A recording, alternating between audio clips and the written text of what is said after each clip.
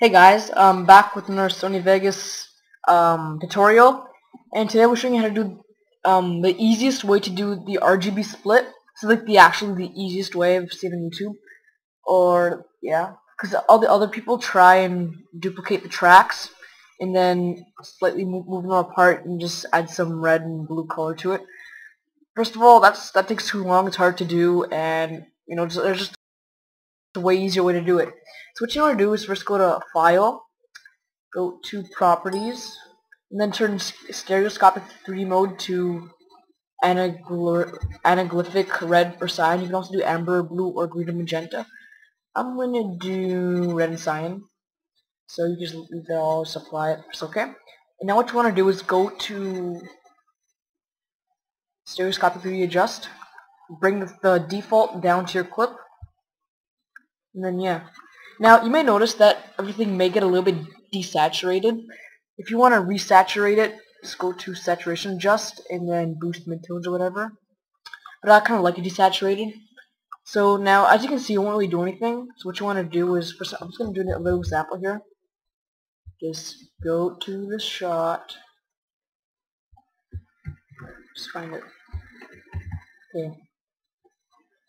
Okay, right up, look, let's, let's start the RGB split right around here what you're going to do is go to the track effects, and then you'll see a little slider here. It says stereoscopic 3D adjust. This is what will control the three the RGB splits. It's a little slider. It's way easier than making a bunch of tracks and taking 10 minutes. So let's just set that to zero. Now let's click on this button here to animate it. Let's just okay click this so your cursor here will be synced up with the video. So let's go turning, turning. Let's go backwards, okay. So let's start it around here. So just set it up a bit, you know, put over, maybe turn down a bit, a little bit more, and at about the shot right about here, and turn it down all the way down to zero. So let's see what this looks like.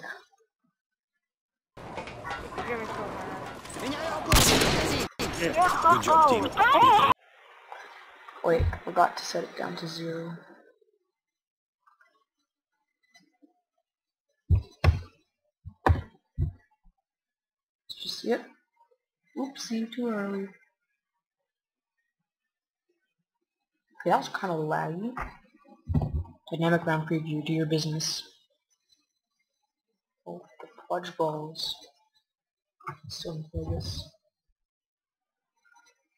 Okay, whatever. So as you can see, that's the easiest way to do an RGB split. There, see? It's all clean, you, you keep one track, and yeah, it's it's it's easier to animate and everything. So hope this I hope you enjoyed this, and um, yeah, so just give this link to your friends if you want to learn how to do an RGB split. Oh yeah, by the way, I think this will only work in so in Vegas Pro 11 because that's the only Vegas Pro with stereoscopic 3. So the option whatever. So yeah, so hope you enjoyed the video, and um,